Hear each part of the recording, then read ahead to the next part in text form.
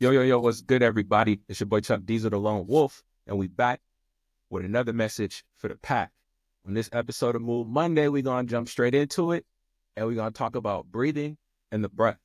Because breath is a super important part of your well being, and the way you're breathing influences both your physical body and your mental state. Your breath serves as a link between the body and the mind. And so, the way you're breathing can affect your mood, it can affect your stress levels, and just your overall health. When we are going through moments of stress or anxiety, it's super normal for you to have tension in your chest, in your neck, or in your back.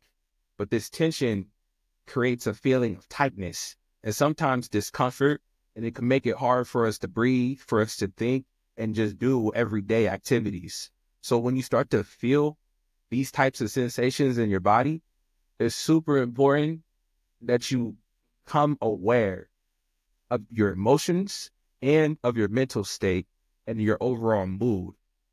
By checking in with our breath, you can pinpoint where that tension is at in your body. So, say you have a tightness in your chest, that might mean you're feeling anxious or you're under a lot of pressure. If you have a tightness in your neck, that might mean you're super stressed out or you're overthinking something. And then if you have an uncomfortable feeling in your back, that might mean you're carrying some emotional burdens and some stress that you need to let out. Oh, practicing being mindful and learning breathing techniques can help you release this tension and clear up your mind.